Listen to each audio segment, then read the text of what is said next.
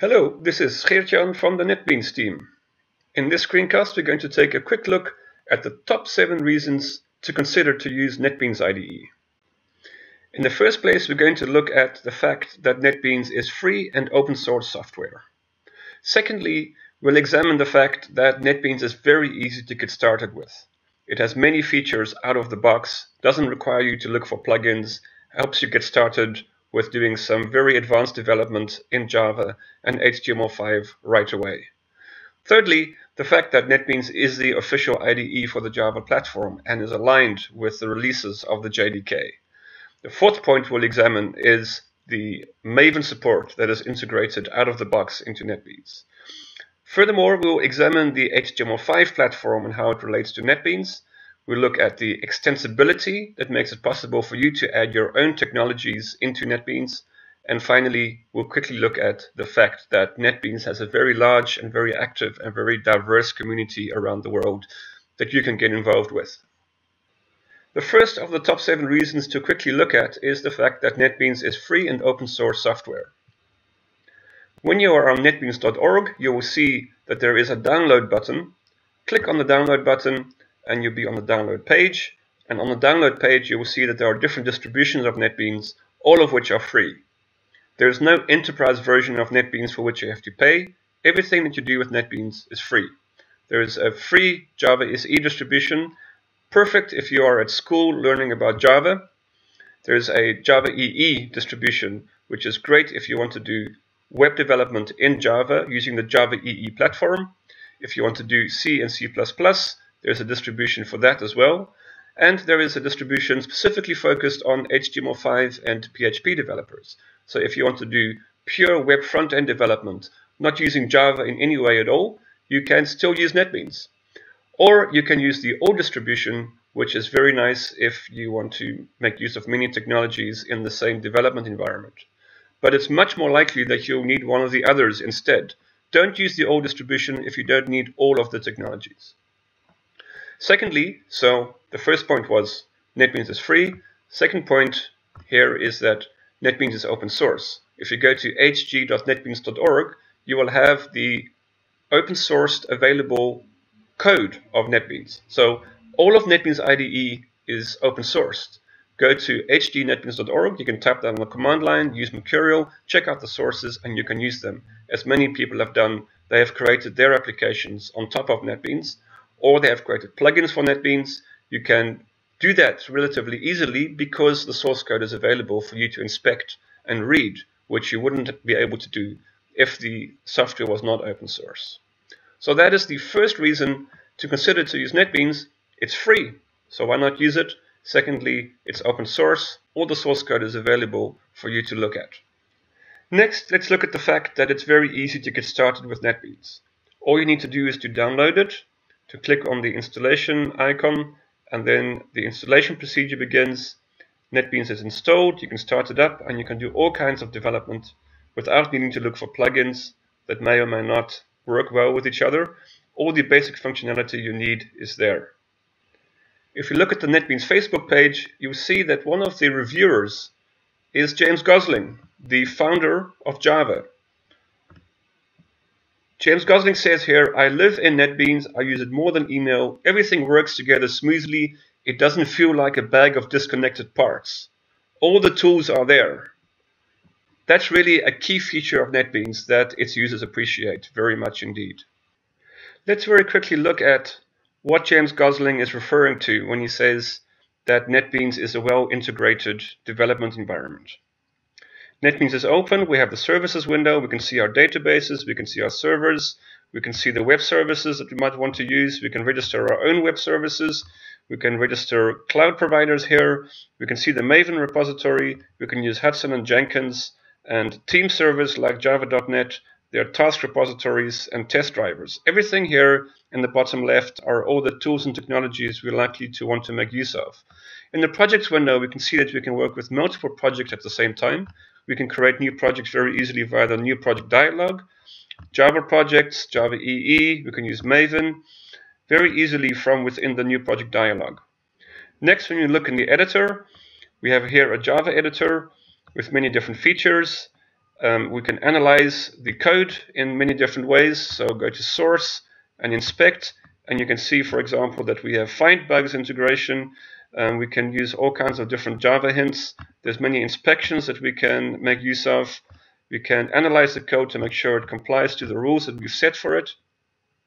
We can directly from within NetBeans check the code into Git or into Mercurial or into Subversion.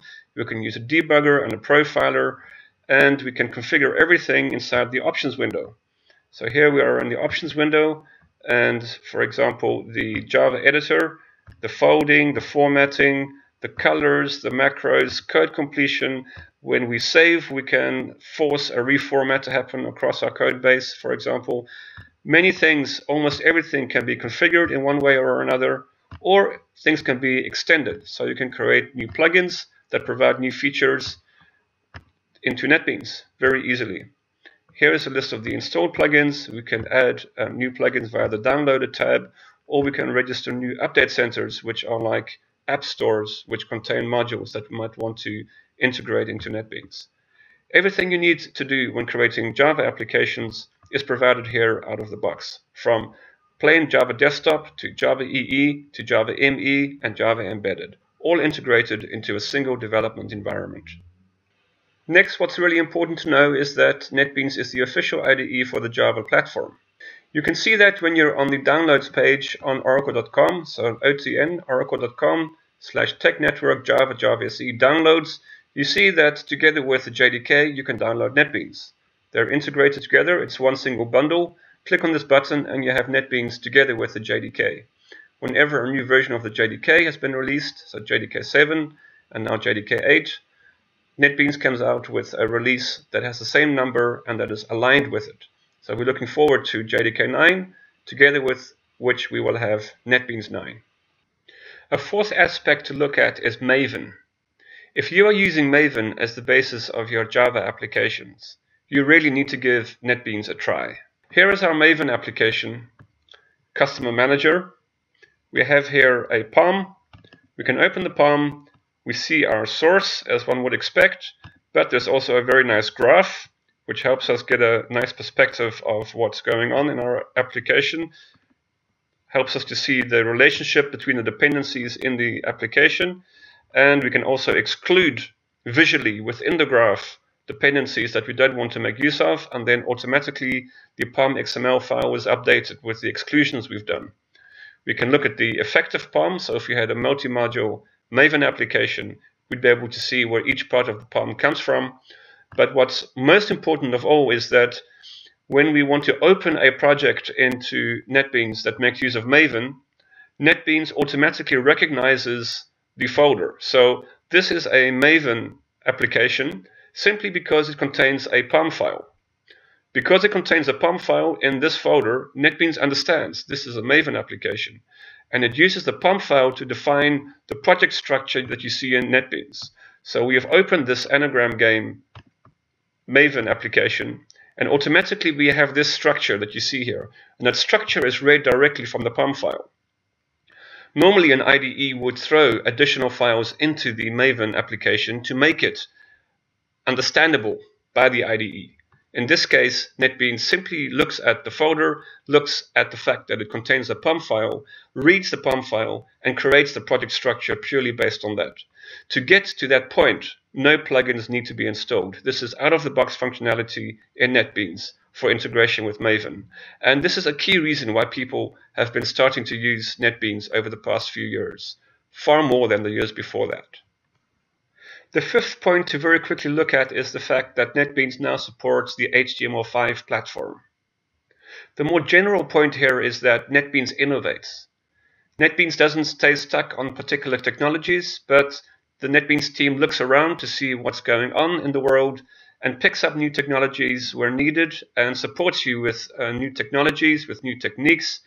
And the example of the past few years is, of course, HTML5. A lot of people are doing development with JavaScript and with HTML and with CSS, and NetBeans provides tools to support you in that. Take, for example, this very simple scenario where we have an HTML page with an h1 tag that says Hello World. Via NetBeans, we can deploy that directly into a browser. Having done that, one normally would need to do a lot of work to actually find out where this hello world is defined back in the development environment, especially when you have hundreds of HTML files and a lot of CSS in your website.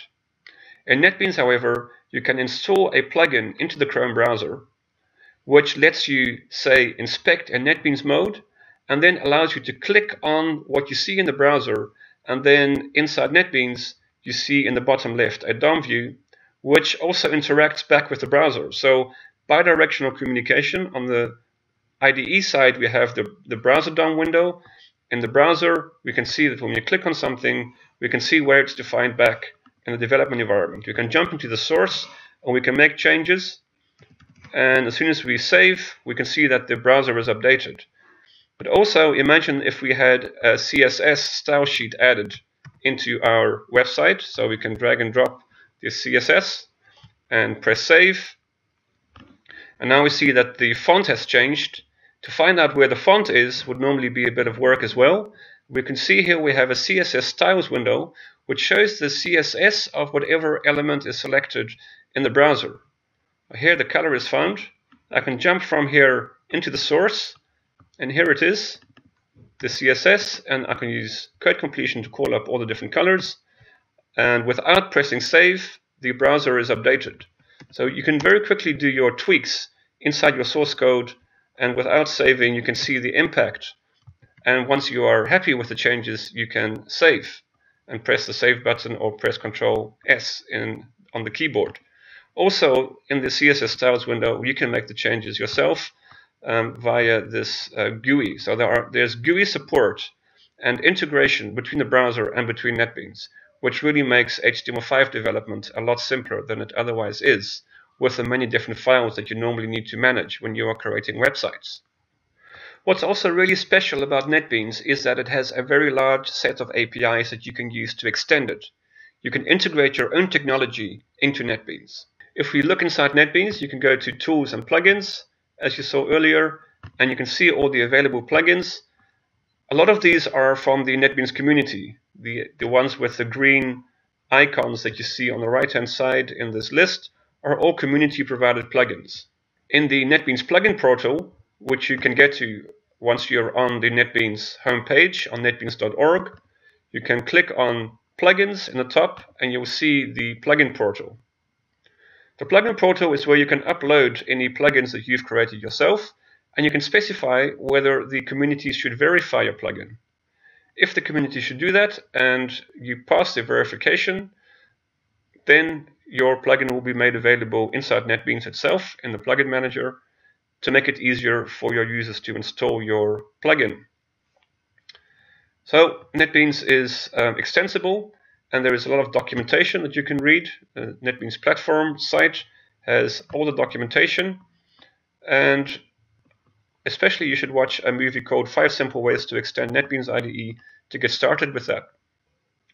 Of the 7 top reasons to consider using NetBeans IDE, the community aspect is probably the most enjoyable of all. If you are on the netbeans.org homepage, you will see that there is a community tab. In the community tab, you find many different ways in which you can get involved in the free and open source community around NetBeans. You can develop NetBeans IDE by creating plugins, you can join the forums and the mailing lists, you can contribute tips and tricks in different ways, either on your blog or via the mailing lists or via wikis or via Twitter. You can report bugs. You can help test upcoming releases. You can write your own blogs. You can join a translation community. And if you are a teacher, you can join a special community dedicated to teachers using NetBeans. To quickly go through some of the highlights, there is a Twitter channel dedicated to NetBeans. You can join um, in getting new information about NetBeans on Facebook. You can see movies about NetBeans on YouTube. You can create your own movies about NetBeans and contribute them there. There are books that are always being written about NetBeans, and these are some of the books from the previous year about PHP and NetBeans, about getting started with NetBeans and NetBeans IDE How To, Java EE and HTML5, and a book written on leanpub.com together with um, courseware about getting started with the NetBeans platform as the basis of your software.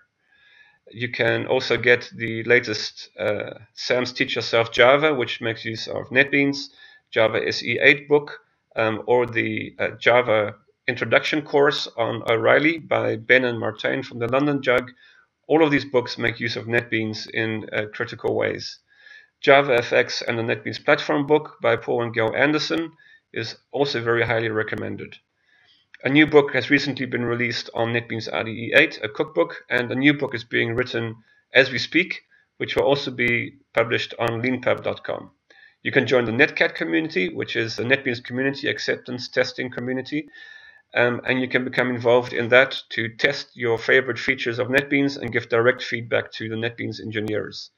There is a Dream Team, which is a community organization with enthusiastic NetBeans users from around the world, uh, with well-known faces such as Kirk Pepperdine, who's a performance guru, but many others. Adam Bien is part of it, Zoran Ševarac from Serbia, uh, Toni Epple from Germany. From all over the world, there are people involved in the NetBeans Dream Team organization, leading different um, activities and events that have something to do with NetBeans. There's a NetBeans Teachers group on Google Plus, where you can share tips and tricks and lesson plans that relate to teaching with NetBeans in the classroom.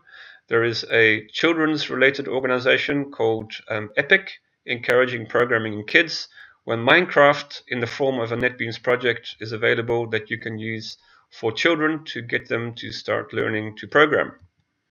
So here are some photos from workshops that have been held, small children with NetBeans installed playing Minecraft, um, parents helping the children, teaching each other how to get started with NetBeans.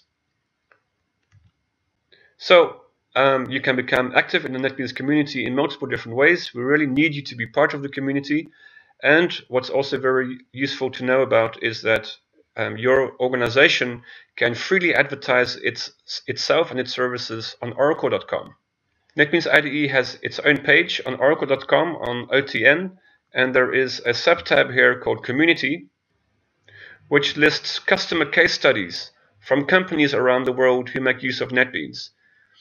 Either the whole company has converted to be uh, NetBeans users, or um, particular projects within the company are done via NetBeans.